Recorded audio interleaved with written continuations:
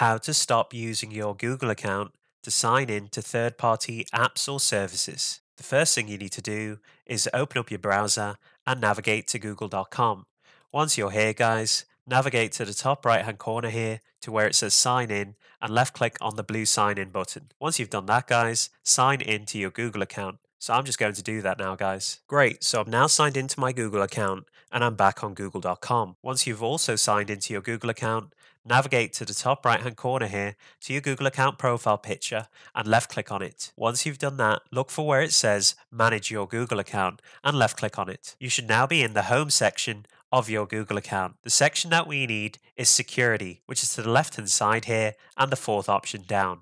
Once you've found security, left click on it. You'll now be in the security section of your Google account. Once you're here, guys, scroll all the way down until you see where it says signing in to other sites. In this area, you have three options. The first option is signing in with Google, password manager, and linked accounts. The option that we need is the first option here called signing in with Google. And if we look to the right hand side here, you can see for me it says you use your Google account to sign in to one site or app. This message here, guys, will be unique for your Google account as it's determined by the number of sites or applications that you use your Google account to sign in with. To manage these sites or apps that you use your Google account to sign in with, simply left click on this arrow here. You'll then be taken to apps with access to your Google account. Signing in with Google, you use your account to sign into these sites and apps.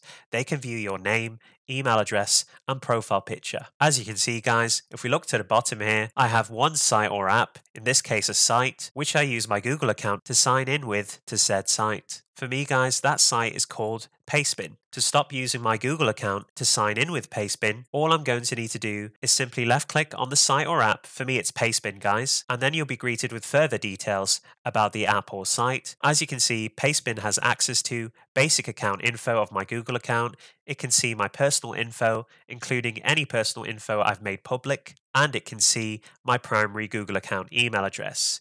You can see the homepage of the site or app, access given to the site or app name, access given on, the date that access was given on. To remove access of this site or app, all you need to do, guys, is left click on remove access in blue here. So I'm just going to do that now, guys. Once you've clicked on remove access, you'll be greeted with a small window which says remove access, Pastebin Google social login will no longer have access to your Google account you'll need to grant access if you want to use this app or service again. You have the option to cancel or OK. I'm simply going to left click on OK. Once you've done that, guys, access will be removed. And as you can see, guys, at the very top here, Google says you haven't given any app or services permission to access your Google account. Underneath here, it says signing in with Google, Google account sign in prompts. Allow Google to offer a faster way to sign in with your Google account on supported third party sites. As you can see, guys, this is currently toggled on. Of course, going forward, if you no longer wish to use your Google account to sign into third party sites or apps with,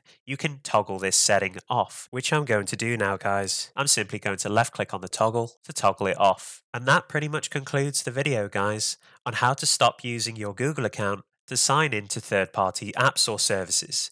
If you enjoyed this video, be sure to give it a like, comment down below, and most importantly of all, subscribe to support the channel. I'll see you on the next video.